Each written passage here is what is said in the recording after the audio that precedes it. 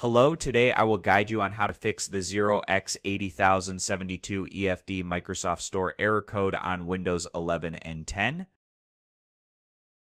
Is step 1 reset Microsoft Store cache. Open the search menu, type WS reset.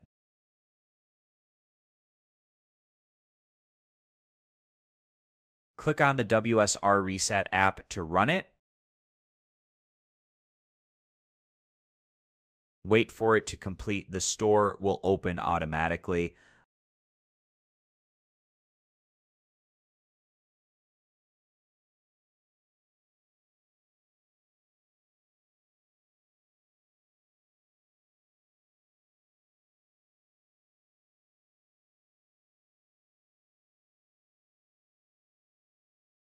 Step 2. Run network and system repair commands.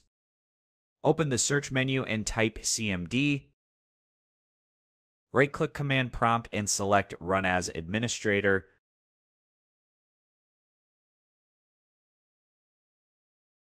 Enter these commands one by one and press Enter after each.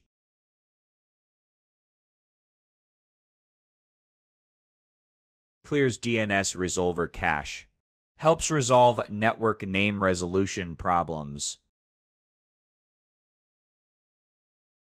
Resets WinSock network socket configuration, fixes network related issues caused by corrupted settings, runs system file checker, scans for and repairs corrupted system files. This scan may take 5 10 minutes or more.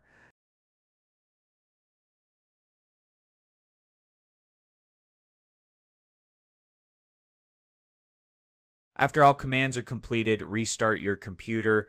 By following the steps above, you should be able to fix the Microsoft Store error code 0x80072 EFD and get your apps downloading and updating properly again. These solutions address common issues related to network settings and system file corruption.